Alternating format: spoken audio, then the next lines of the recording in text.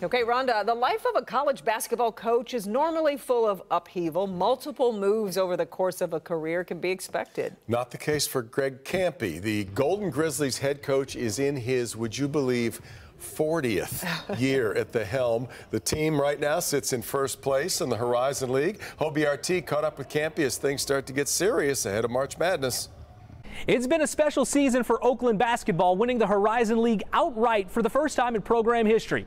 But there could be even more on the horizon for these Grizzlies as they head into the conference tournament with a berth in the big dance on the line. In 40 years on the job, Greg Kampe's seen almost everything with Oakland basketball. But this milestone season, it just feels different. Maybe it's a factor of me getting older and maybe a factor of me understanding purpose of life better. Um, but I will tell you, I don't think I've ever had as much fun with a group of kids as I had this year. Our thing this year has been, you know, winning isn't fun, having fun wins.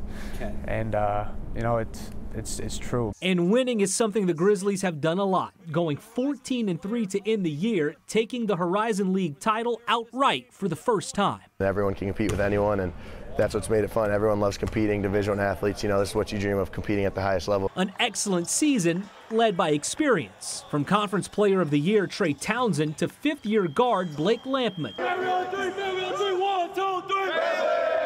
They've put in the time for a team whose time is now.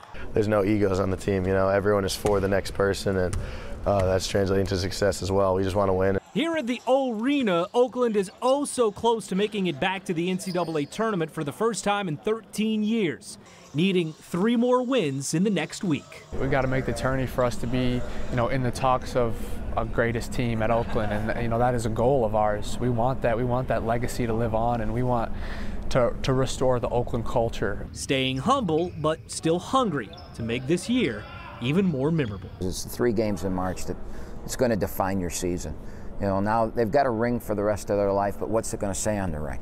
You know, is it going to say NCAA tournament? Is it going to say Sweet 16? Is it going to say what? You know, it's on you now. Puts a lot of pressure on them because this is their goal. But with that pressure can come championships. Well, they say pressure makes diamonds, right? Yes, that's the saying. We'd like to stick some diamonds in that ring. At Oakland University, Hobie Artigue, Local 4.